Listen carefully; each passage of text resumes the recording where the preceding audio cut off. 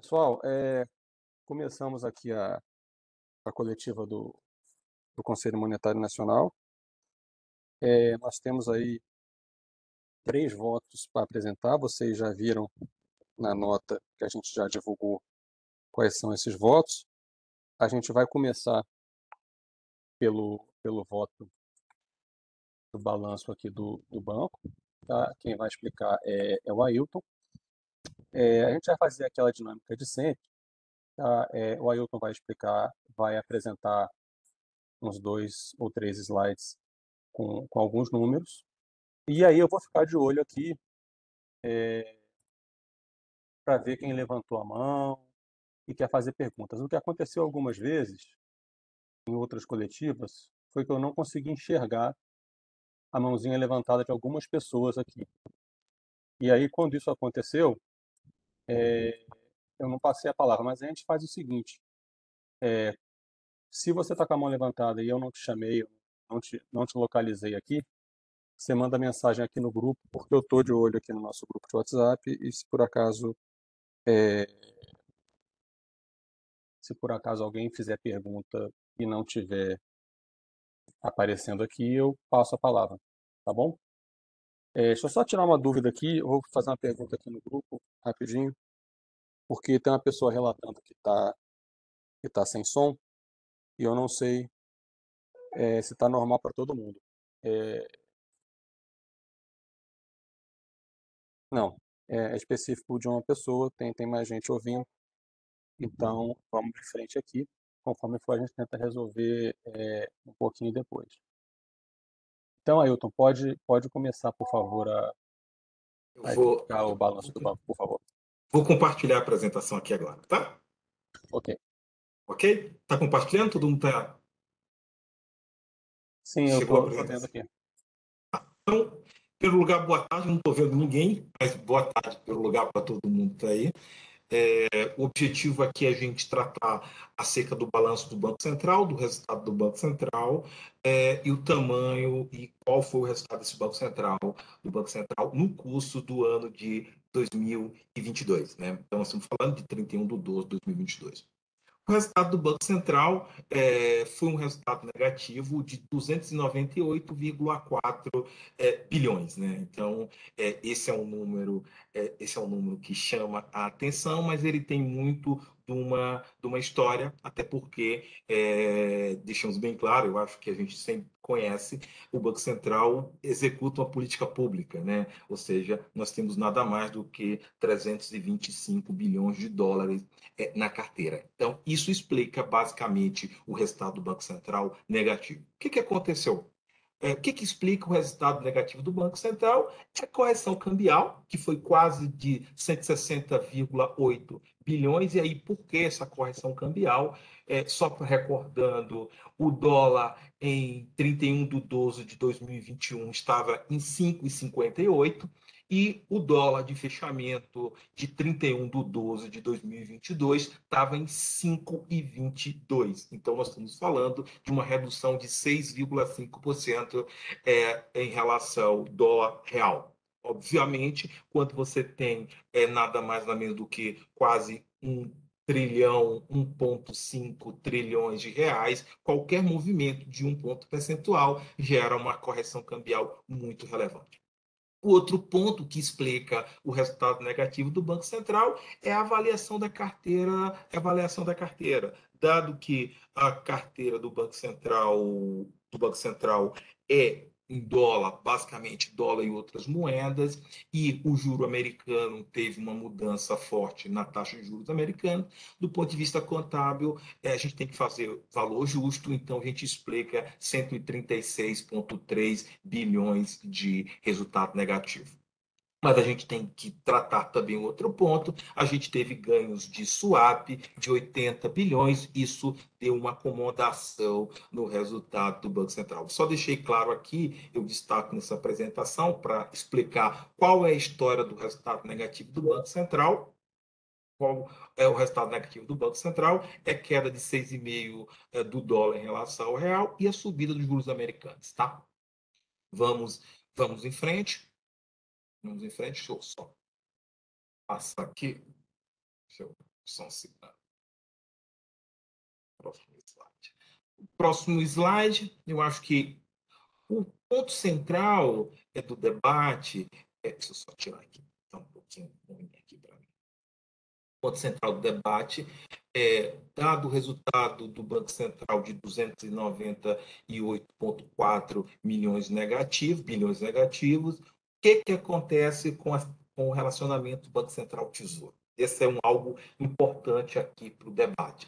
Como o resultado foi 298,4 bilhões, bilhões, causa um impacto no patrimônio do Banco Central. A gente tem a Lei 3820, que deixa claramente, é, clara, é explícita a Lei 3820, que o patrimônio do Banco Central não pode ficar abaixo de 1,5% do seu ativo total. Nisso nós estamos falando, dado um ativo total do Banco Central de 4,1 trilhões, a gente estava falando ali de algo em torno de 61 bilhões é, de reais. E o que, que aconteceu? A gente, nós tivemos 298,4 bilhões negativo, é, a gente tinha uma reserva de resultado que era com câmbio de 179 bilhões, tivemos que reduzir o patrimônio adicional do Banco Central, o patrimônio do Banco Central em 82,8 bilhões, e isso resulta numa necessidade de cobertura de cobertura por parte do Tesouro por parte do Tesouro de 36,5.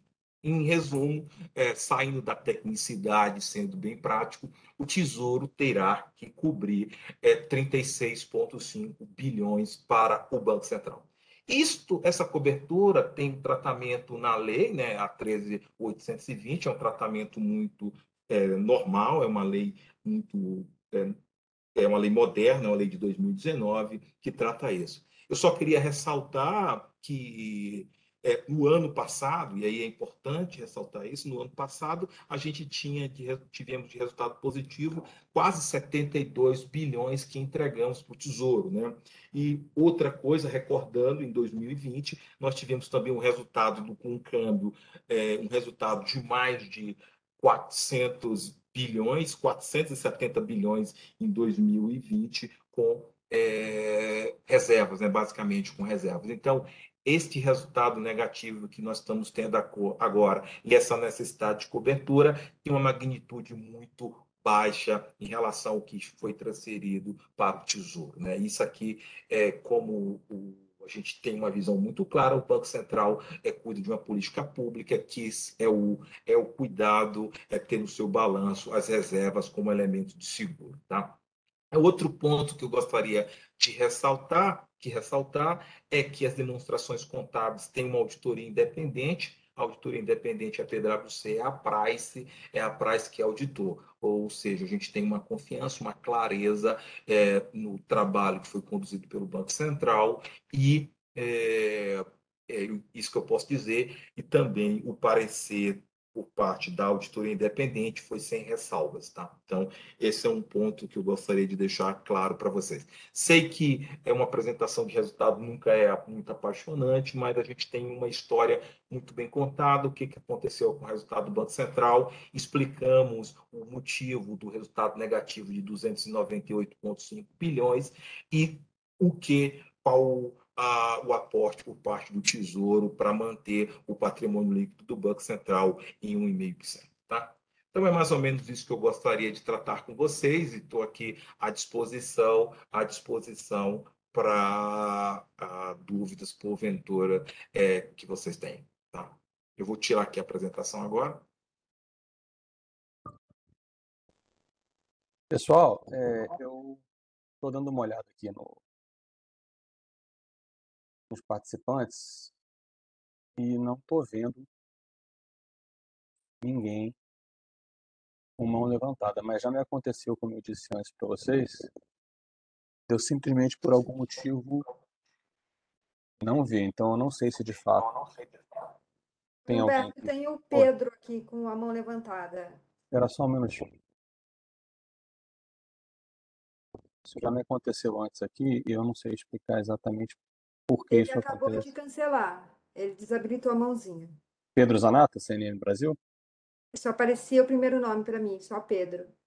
É, eu não vejo aqui não sei, vou dar uma olhadinha aqui no grupo, porque da outra vez eu deixei passagem e depois corrigiu, mas É, o Álvaro está perguntando aqui se serão permitidas perguntas, sim, mas para isso a gente teria que ter o pessoal levantando a mão aqui. Não sei se Ivone ou Daiane estão conseguindo enxergar entre é, os convidados mais alguém, alguém que talvez estivesse com a mão levantada aqui, ou não. Eu não vi, mas outra vez eu também não vi. Então, não tem ninguém agora a, com a mão levantada. Estava o Pedro agora há pouco e ele desabilitou a mãozinha. Então, gente. Sem vou... pedido de pergunta. Então tá bom, vou agradecer aqui ao Ailton, a gentileza de ter explicado para a gente o, o balanço do, do banco. E vou pedir só um, um minutinho da, da, paciência de vocês, que a gente está aguardando aqui a chegada do João, que vai explicar os outros dois votos, tá bom? Assim que ele entrar aqui, a gente recomeça. Ailton, muito obrigado, viu? Obrigado, estou à disposição, qualquer dúvida, tá? Até mais.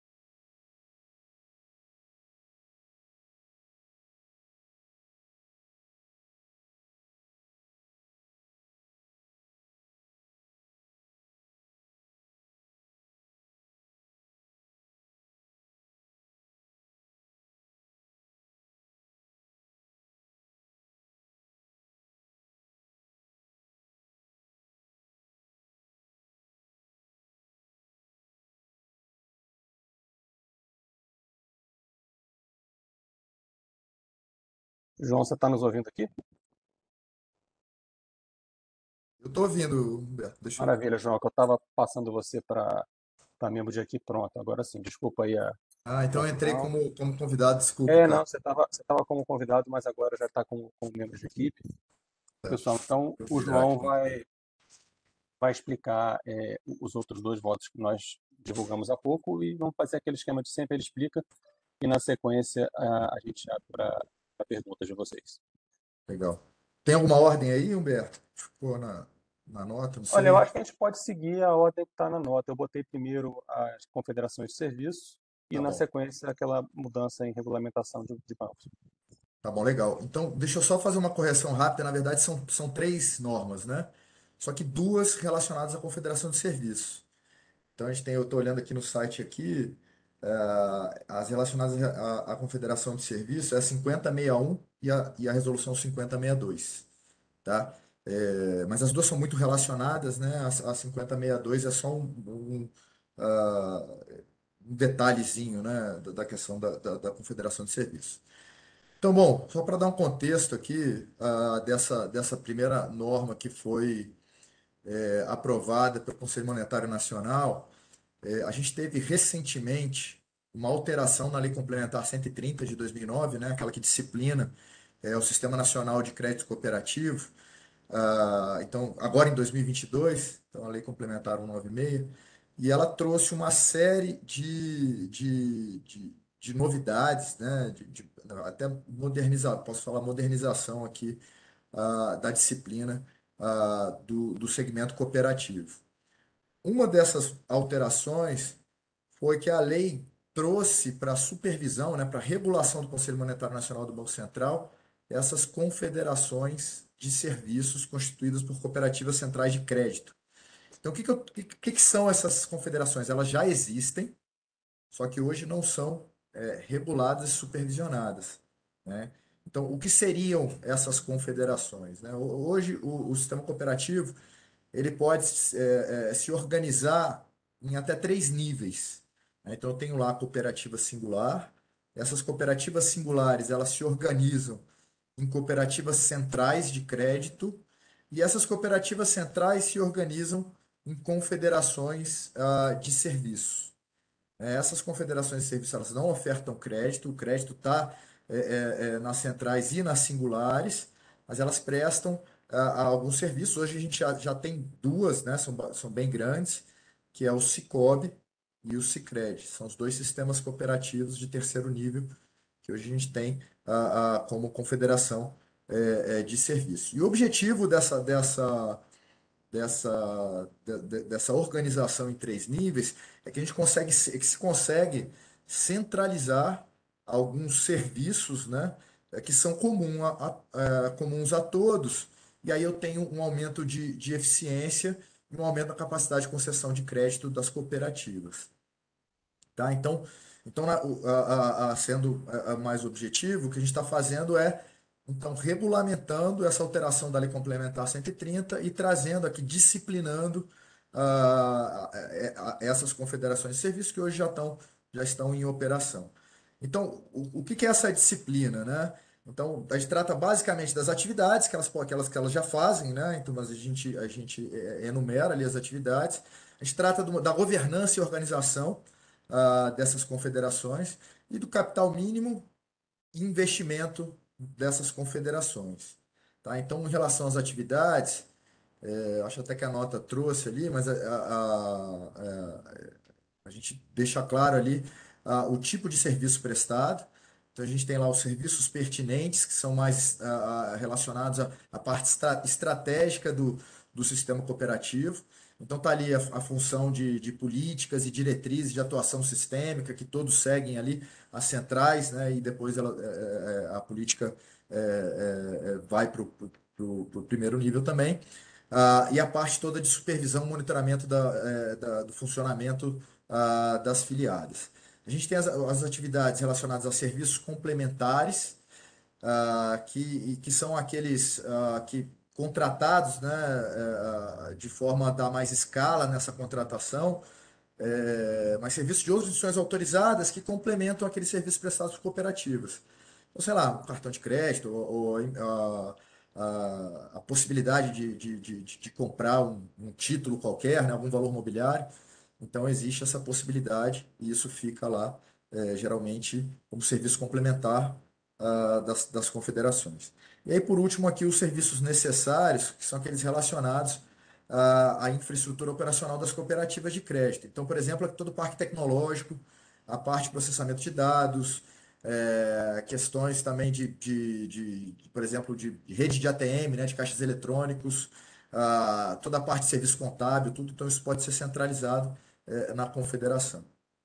Bom, quanto à parte de, de governança e organização, é, é, segue a, a, o que é bem comum, né? Então, é, a, a confederação vai ser constituída lá pelo Conselho de Administração, diretoria executiva, então não pode ter acumulação de cargo no Conselho de Diretoria Executiva, tem vedação dos membros a participação de, de, de, da administração de outras instituições autorizadas. Então, tem uma série lá a, de comandos que, que disciplinam essa parte aí da, da, da organização, né, da, da, dessa governança dos administradores das confederações. Parte capital mínimo, estabeleceu lá 10 milhões de patrimônio uh, líquido, 50% no, na, na, na, autorização e 50% após 5 anos, as duas uh, tranquilas nesse aspecto.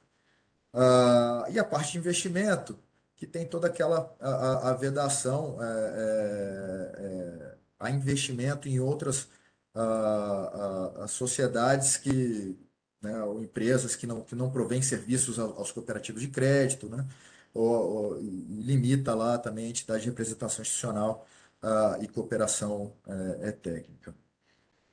Então, a, a, a vigência uh, da norma ela é imediata, porque a própria Lei Complementar 196 ela determinou que, que, que a autorização fosse solicitada pelas, já pelas, pelas confederações em operação em até 180 dias a, partir da entrada em vigor da lei, e, e esse, como, como isso expira agora dia 20 de fevereiro,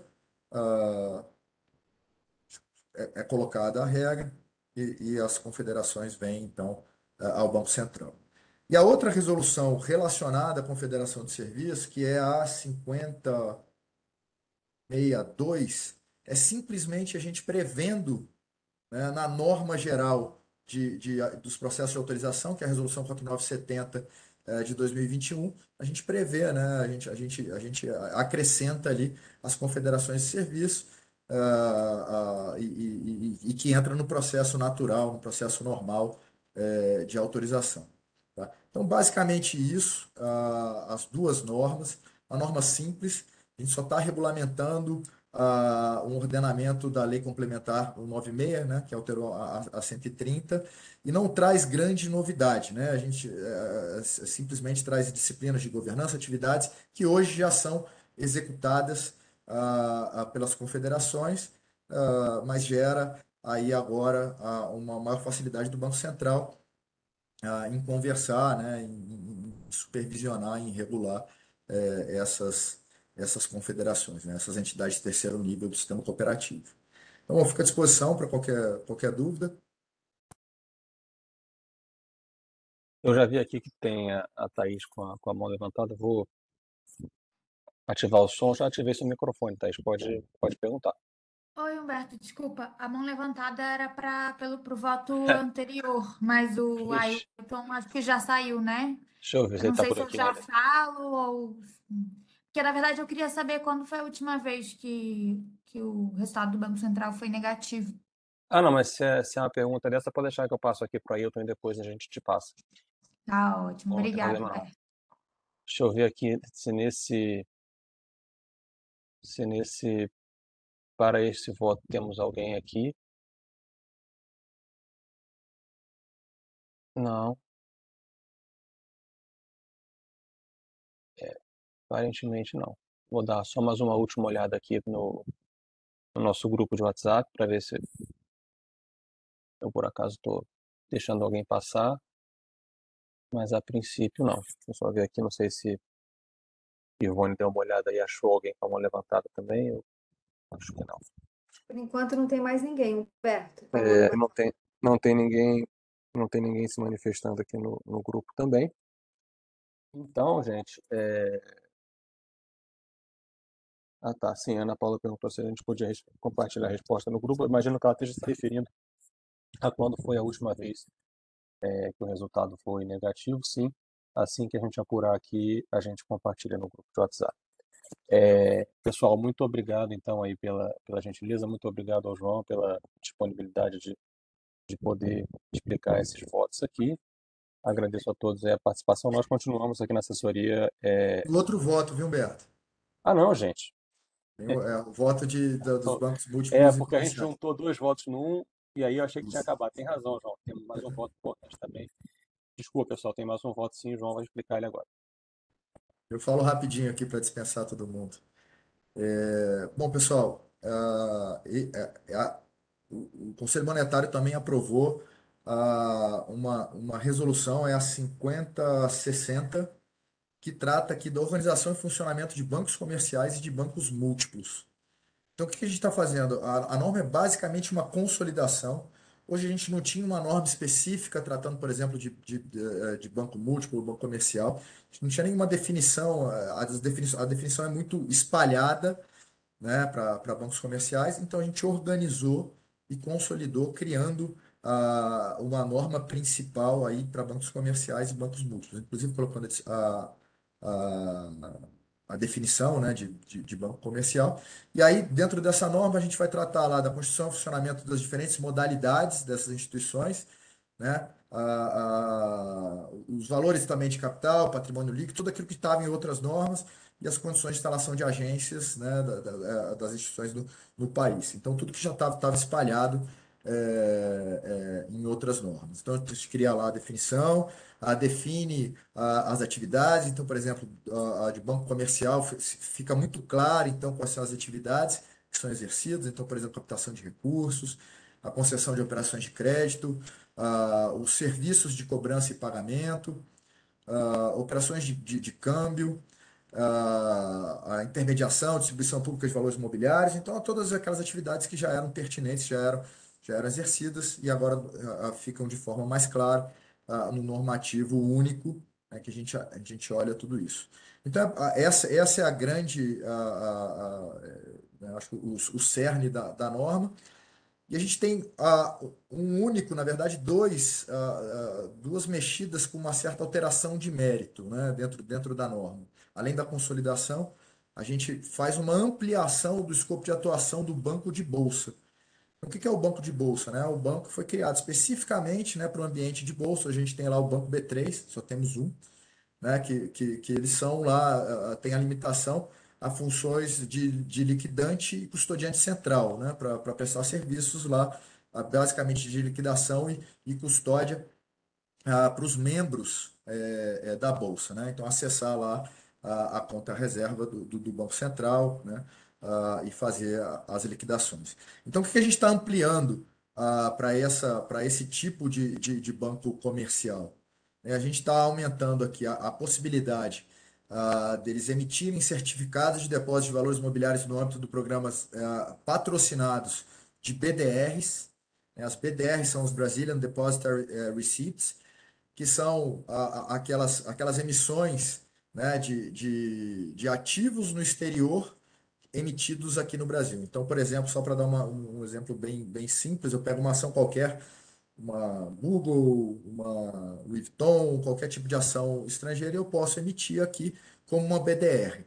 Né? Então, a, a, a companhia emissora, ela vem, né, contrata uma instituição depositária, que pode ser a, o banco de bolsa agora, e essa, essa instituição depositária vai ser responsável pela emissão uh, desses BDRs. Tá? Então, abre a possibilidade uh, de, de, de investimento uh, nesse tipo de ativo no, no, exterior, mas usando toda a infraestrutura, né, é, é, fazendo isso daqui.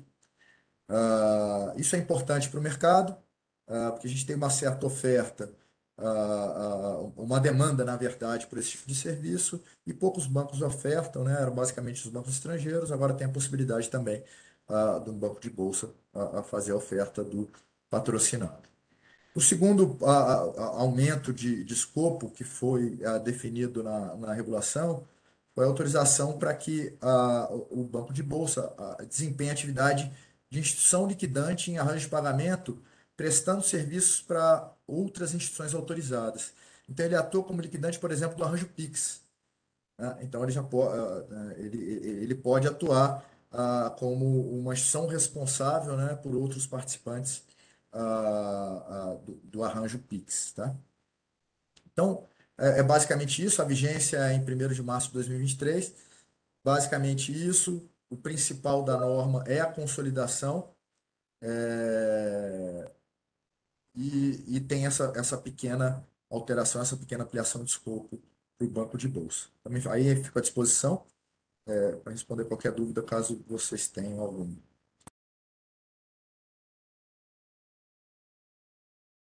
Pessoal, agora novamente estou fazendo aquela passagem aqui pela, pelos convidados. Não estou vendo ninguém com, com mão levantada, mas vou dar uma, uma repassada aqui só para ter certeza, para não deixar ninguém sem resposta aqui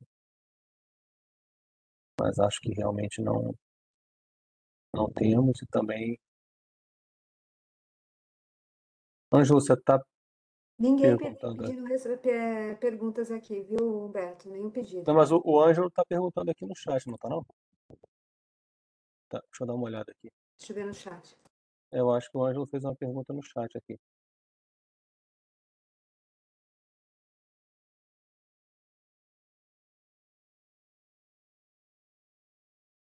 Ah, tá. Eu vou fazer, eu vou fazer a pergunta do Ângelo aqui, tá? Porque eu, não vi ele com, com mão levantada, mas imagino que eu possa fazer aqui e aí o João esclarece. O Ângelo perguntou no chat aqui o seguinte: é, o voto diz que vai facilitar investimento em dólar. É, de que forma isso ocorre, no caso dos bancos de bolsa? Ele está explicando que o microfone dele está ruim. Então, o BDR ele é, um, é considerado investimento no exterior, mas ele é investido no Brasil em reais. Então, é, o, o BDR é um recibo de, uma, de um ativo que está lá no exterior. Então, uma ação de uma empresa estrangeira que emitiu numa bolsa estrangeira e quer emitir esse certificado que está linkado diretamente a esse ativo aqui no Brasil. Então, é um investimento no exterior. Né? A variação de preço desse ativo ele vai seguir a variação de preço que está lá fora, mas o investimento é feito é, é, em reais. Mas eu tenho uma variação é, que, que, segue exatamente a variação é, que está lá fora, só que, lógico, em reais. Né? Então, por isso, facilita é, essa, esse ponto. Né? Não sei se você está vendo aí, João, mas o, o, o Ângelo é, perguntou aqui, complementando, se a B3 poderá, então, emitir BDR. Se é isso. Exatamente. Hoje ela já emite não patrocinados e passa a emitir uh, os BDRs patrocinados. Né? A diferença, só para deixar um pouco mais claro também, né? não patrocinados são, são, são eh, emissões mais gerais, qualquer um pode vir e, e fazer essa emissão é, de uma empresa no exterior, mas a patrocinada é a própria empresa vem né? e contrata esse, esse depositário e, e faz a emissão uh, desse BDR. Então, a, a, B3 passa a ter essa, essa possibilidade, né? Passa, passa a ter a, a, a, passa a poder prestar esse tipo de serviço.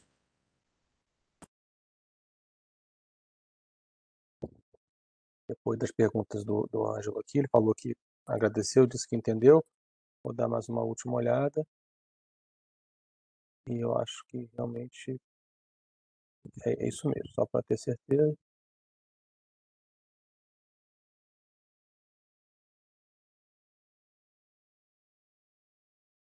De fato, é isso aí. Não temos mais e agora, dessa vez de verdade, dessa vez a gente cumpriu todos os votos, eu não estou esquecendo nenhum, graças a Deus. É, agradecer ao, ao, João, desculpa João quase ter suprimido um, um voto de vocês aí na coletiva, agradecer a todo mundo aí que participou e lembrar a todos que se vocês por acaso tiverem alguma dúvida depois, nós estamos ainda à disposição aqui na assessoria de imprensa para tentar esclarecer. É, Tá, eu vi aqui a mensagem da Mariana, depois a gente vai tratar disso aqui no, no grupo. Beleza, gente, é isso. É, muito obrigado, uma, uma boa noite a todos aí. Tchau, tchau. Boa noite, pessoal. Tchau, tchau.